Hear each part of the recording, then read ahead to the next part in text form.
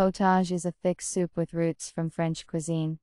I offer you one of the options for how to cook carrot potage soup. Tender vegetable soup with cheese and cream is served with crackers. Prepare the necessary products. Wash and peel the vegetables. Cut vegetables into small cubes. Pour broth.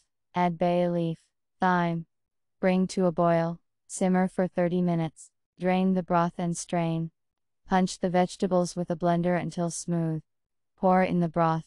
Add nutmeg, salt, and pepper. Stir. Bring to a boil. Add the grated cheese. Cook until the cheese dissolves. Remove from the heat and let stand for 15 minutes under the lid. Serve with cream and crackers. If desired, add a mint leaf. Bon appetit!